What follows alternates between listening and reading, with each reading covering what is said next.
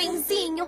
Quando tivermos os nossos filhos, eles vão cuidar do negócio. É. Inclusive, quantos filhos você quer, Benzinho? Eu quero... Agora já passou dos limites.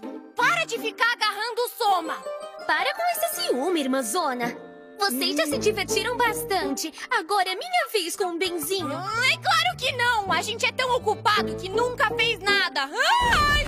Espera aí, irmãzona. Quer dizer que vocês não? Ainda não.